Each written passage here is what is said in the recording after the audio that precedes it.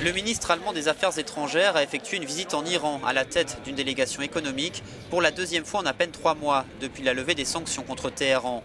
Frank-Walter Steinmeier a rencontré ce mercredi le président iranien Hassan Rouhani, qui n'a pas manqué d'inviter en Allemagne.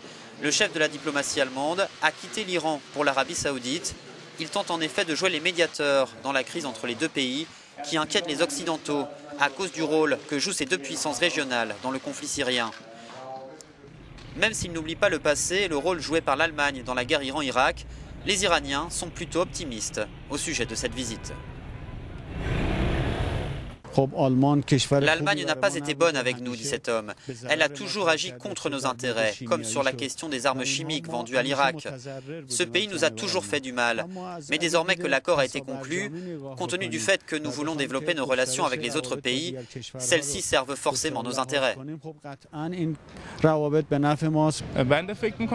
Je pense que renforcer ces liens est très important, parce que l'Allemagne est un pays très développé et industrialisé, qui peut vraiment aider notre pays, dit cet autre Iranien.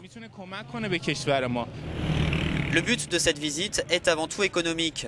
Deux groupes allemands doivent investir 12 milliards d'euros dans le secteur gazier et pétrolier. L'Allemagne veut jouer un rôle de médiateur au Moyen-Orient pour stabiliser la région, même si les discussions entreprises par M. Steinmeier pour améliorer les relations entre l'Iran et l'Arabie saoudite n'ont pas l'air d'être efficaces à court terme.